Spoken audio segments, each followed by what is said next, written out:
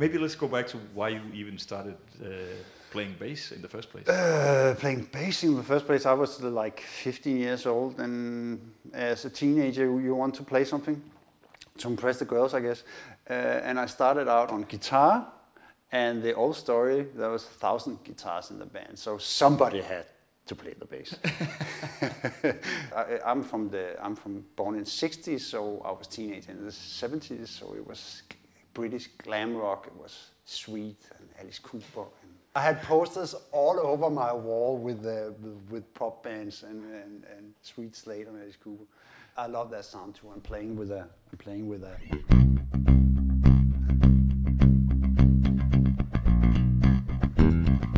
Playing with a pick, that's uh, one of the, my favorite, uh, my favorite things. And, and then um, some years after, when I was 18, 19 years old, I got in this band where they need a bass player, and I started to listen to funk music. I, I heard uh, Earth, Wind and Fire, and then I thought, hey, bass, that, that can be interesting too, when the bass was more on the front. So that got me into that style of music, and uh, later George Duke, and of course James Brown, Parliament. In the 80s, of course, uh, Davy Sanborn, Marcus Miller, Miles Davis in his funky period. I think actually it's, it's very important that you, uh, you listen to a lot of different music. Keep your ears open to all kinds of music. That's, I would recommend that. And then you had like you had a period where you didn't play that much. Is that right? Yeah, yeah, because I actually I was I had my I played mostly in the 80s, but then I had a period where I stopped practicing and was more interested in, in just hanging out. So I kind of I, I, my musical level dropped a bit, and and then I got other other interests. I started uh, working with web design, but uh, I kind of got out of music. I still play with some some some semi big bands in Denmark, but but not. I didn't really practice. It didn't really interest me. In fact, until uh, three years ago, uh, many of my basses stood collecting dust in the, the corner. Uh, one day, one of my friends introduced me to uh, YouTube, uh, mostly because it, it, was where you can see, watch old concert clips of artists that you loved and uh, all that. But I also uh, saw that people were actually sitting and playing their instrument. I, I dug out all my old funk records, the, the songs that I practiced in the start 80s, and started just by making some what you call play-alongs, where you you just uh, play bass on top of old funk recordings. And, and, suddenly people start following. I made this channel on YouTube where I made these funk recordings, and apparently not many other people have had made that.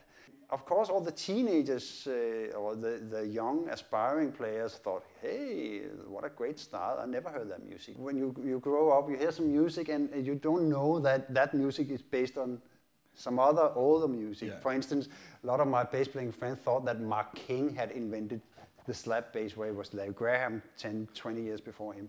But it, it's a natural thing. So uh, for all these young players, it was a revelation to find these, uh, find this music. And also for all the older players, my own age, who at some point had gotten a wife and job and, and, and put the bass on the shelf for 20 years. And they, I inspired them to start playing again.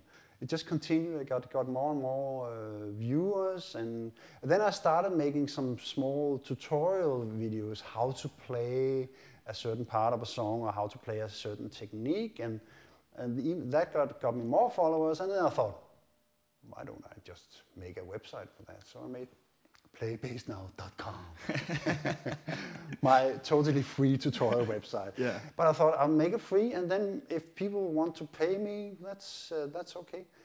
Uh, and I actually get, get a lot of donations from people who appreciate the service. Actually, I got two new sets of strings yesterday from a, a fan that want me to pay me in that way. So I think that's that's great you've been amazingly active. I mean, I, I saw your web page as well, and you have what 230 something, 250 uh, videos. I'm up to 242 licks of the day. How do you come up with all that stuff?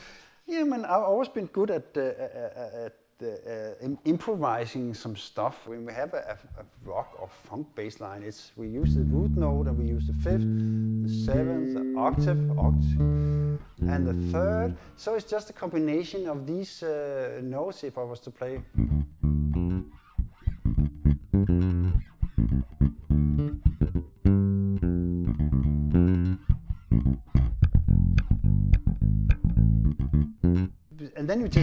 Use another technique.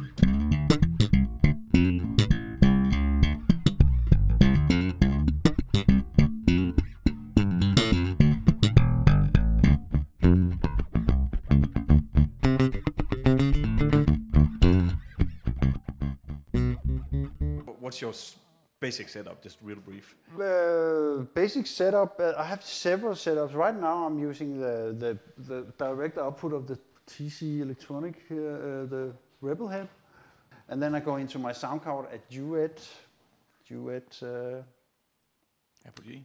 yeah, Apogee Duet, and then straight into the MacBook. And uh, I usually just use the internal internal camera of the the MacBook. Just recently, you had uh, you kind of changed your structure a little bit around your webpage, and you have a new webpage up now.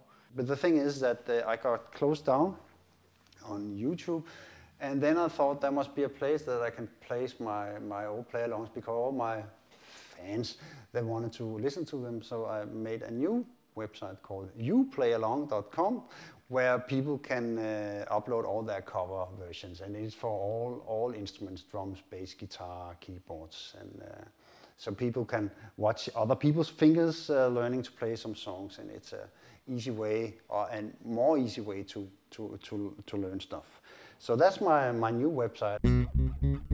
And future-wise, uh, any any big plans? Anything new and interesting that you have on the horizon? Uh, yeah, um, uh, my band or the band I'm in uh, is, is called Al Campus and Soul Harmonic. We are it's a basically a soul funk band. We made a record uh, one or two years ago that is being released in Japan, and we are uh, here in August. And we are in the midst of making our new album. Will come out here in the uh, late fall. And finally, any comments or experiences with the uh, with the TC amp? Yeah, I think it's great uh, uh, because it's first and first and foremost it's light. I can have it in a, in a, in a shoulder bag, and uh, and the, the whole principle about the, the two cabinets on top of each other, so I can I can hear myself properly on stage. It just sounds good. And you you played it live as well, right? Yeah, yeah, yeah, yeah. I played live as well. So and, and the combination that I can uh, I can record uh, in at home making my bass licks of the day and, and take it out on the road and take it to the rehearsal room. I mean, I went to rehearsal room yesterday on a bicycle and I had my bass and the amp on the bicycle over the shoulder. How many amps can you say that about? so uh, I'm really I'm really enjoying it actually. Um, it's a it's a great piece of equipment.